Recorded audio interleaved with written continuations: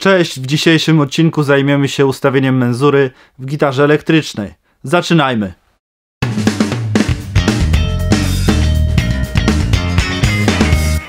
Cześć, z tej strony Macio z Nebula Studio i witam Was w kolejnym odcinku. Niedawno oddałem do e, lutnika, do serwisu e, swojego Fendera Jazzmastera. Gdy odebrałem tą gitarę, okazało się zgodnie z, z, oczekiwaniami, że gitara stroi we wszystkich pozycjach, wszystko ładnie wybrzmiewa, nie ma żadnych problemów z intonacją postanowiłem e, podjąć się zadania ustawienia samodzielnie menzury w innej mojej gitarze.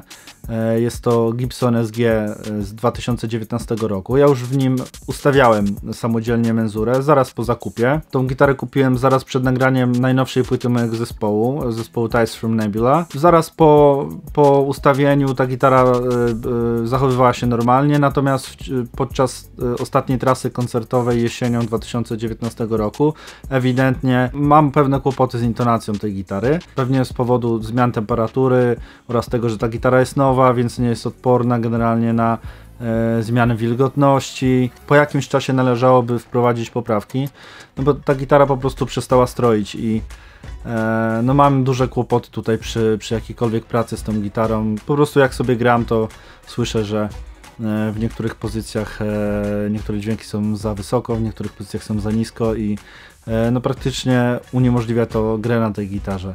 E, także no, postanowiłem się zebrać i e, wreszcie tą gitarę ustawić porządnie. Za chwilkę Wam wytłumaczę jak to się robi, jakimi zasadami trzeba się kierować i myślę, że wspólnie damy radę i każdy będzie mógł sobie samodzielnie taką menzurę ustawić, tak żeby jego instrument zabrzmiał lepiej, stroił lepiej i żeby było więcej zabawy podczas gry na gitarze.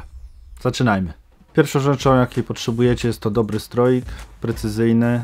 Ja używam Bossa TU3, używałem wcześniej Polytuna. Właściwie obojętnie czego będziecie używać, ważne żeby ten stroik był precyzyjny, także no to, jest logiczne, prawda? Dzisiaj zajmujemy się mostkiem stałym, czyli taką prostą konstrukcją. E, i do przesuwania siodełek w mostku e, potrzebny jest e, wkrętak. W moim przypadku jest to końcówka z takim płaskim śrubokrętem, ale czasami są to też śrubokręty Philipsa, czyli te takie krzyżakowe. Zaczynamy od sprawdzenia, które struny mogą nam sprawiać kłopot. Najpierw przede wszystkim stroimy idealnie gitarę, sprawdzamy czy każda pusta struna idealnie stroi i potem po kolei e, przyciskamy każdą strunę na 12 progu i sprawdzamy, czy e, dźwięk jest dokładnie ten sam, tylko oktawę wyżej. Jeżeli dźwięk stroi idealnie, nie jest ani za wysoko, ani za nisko, to znaczy, że mamy idealnie ustawioną menzurę e, i możemy iść dalej do kolejnej struny. No ale chyba nie oglądalibyście tego filmiku, jeżeli nie mielibyście problemów z menzurą, nie? ja stroję swoje gitary pół tonu w dół, więc e, nie będzie to standardowy strój E, także tym się nie przejmujcie, to nie ma znaczenia. Menzurę ustawiamy pod swój strój. Ja mam pustą strunę DIS i jak uderzam na 12 progu, no to e, tutaj mam sytuację taką, że mam dźwięk za wysoki. Jeżeli jest za wysoko, to znaczy, że wibracje struny są za, za gęste, za częste. E, więc częstotliwość jest za wysoka. I jak taką częstotliwość zmniejszyć? Należy wydłużyć akcję struny.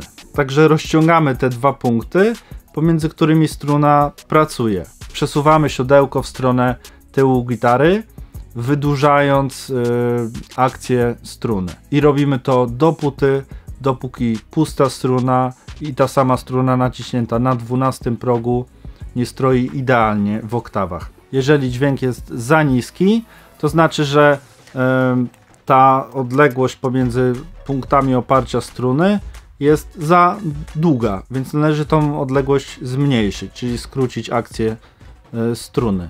E, no i robimy to poprzez odwrotny ruch, czyli przesuwamy siodełko w stronę główki gitary i sprawdzamy, czy dana struna zaczyna stroić zarówno jako pusta struna, jak i naciśnięta na 12 progu. Musi być wszystko idealnie. Proces ustawiania menzury jest dosyć żmudny, E, i wymaga wielu e, powtórzeń. Za każdym razem, gdy przesuwacie siodełko, należy tą strunę E, najlepiej poluzować, żeby po prostu nie robić żłobień e, w siodełku i żeby nie uszkodzić struny. Także należy poluzować strunę, przesunąć siodełko, nastroić strunę i sprawdzić. No i to właściwie tyle.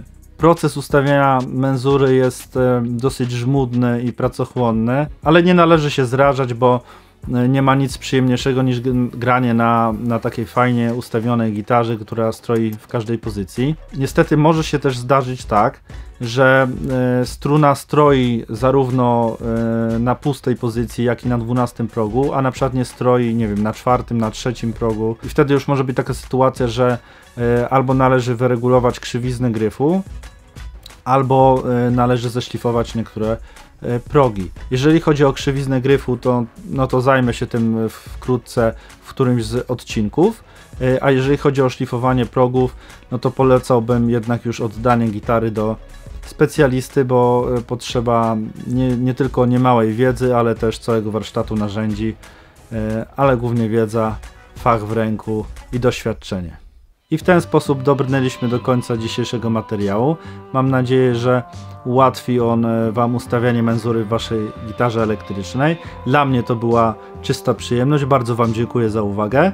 Pamiętajcie, że możecie zasubskrybować nasz kanał, e, tylko kliknijcie dzwoneczek, żeby otrzymywać wszystkie powiadomienia. Mamy również Instagrama, polecam, bardzo dużo fajnych zdjęć.